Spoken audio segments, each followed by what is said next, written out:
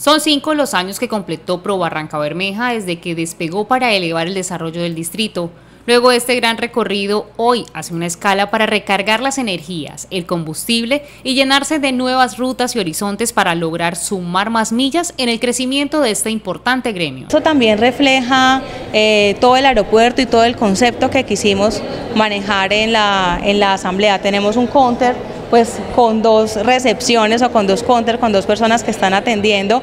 Y vemos de fondo eh, los relojes y las horas del mundo, porque parte de lo que nosotros impulsamos desde la organización es la internacionalización del distrito y pues ahí quisimos también plasmarla. Susana Mesa, directora ejecutiva de Pro Barranca Bermeja, nos contó cuáles han sido los logros más significativos durante estos cinco primeros años de trabajo.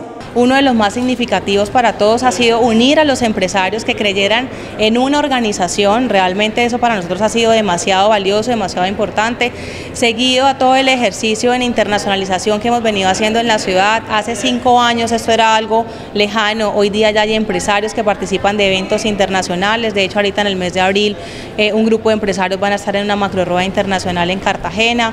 Eh, como tercero podemos decir de esa visibilización que le estamos dando al distrito como un destino más allá del sector petrolero, sino como un destino para ampliar eh, inversiones en otros sectores, empresas ya están viniendo a explorar estas oportunidades en distintos sectores.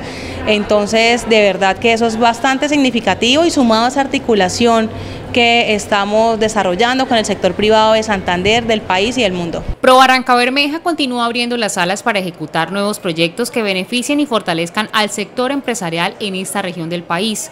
Cabe señalar que esta agencia se creó en el año 2019 debido a la coyuntura económica, social y política que enfrentaba la ciudad en ese entonces y que fue el detonante para que los empresarios impulsaran la iniciativa. Gracias a esto lograron materializar eventos como Global Plan Santander, Macro Rueda 80, Conversatorio Visión de Ciudad y Prospectiva de Barranca Bermeja, eventos donde se generaron oportunidades de crecimiento del tejido empresarial en el Magdalena Medio.